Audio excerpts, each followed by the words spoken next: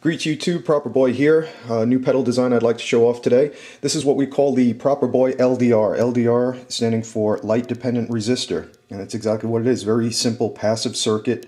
Um, it does have the bypass switch, which when you are processing audio will work uh, fine. But we're going to do some control voltages today and uh, give you just an application of how you can use this kind of a circuit uh, to really work well with your modular gear. So I've got a little setup going right now. Let me bring the volume up on that. And what I'm going to do is I'm going to control the cutoff of the filter with the LDR. And you do that by controlling how much light actually hits that little cell right there. So let's get it going.